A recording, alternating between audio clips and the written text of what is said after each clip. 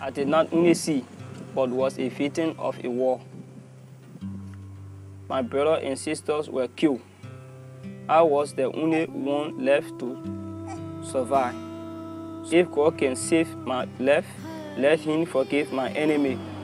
Plain in his heart, my love, let my land know war. Stephen, like millions of young people around the world, live in a state of chaos, whether because of war and conflict or natural disasters. The reason of me writing my print is war is very bad. During the war in Liberia, we lose a lot of people, educated people that was to help all Indian nation. And I pray that Liberia should have no war again.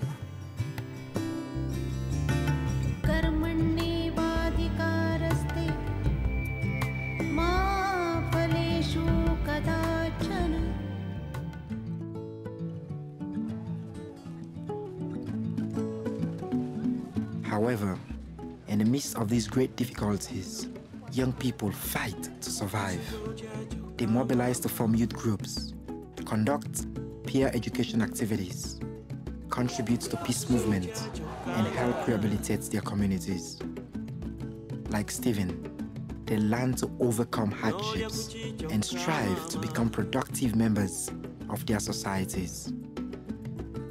Crucial as these stories are, most of them are never heard. Will you listen?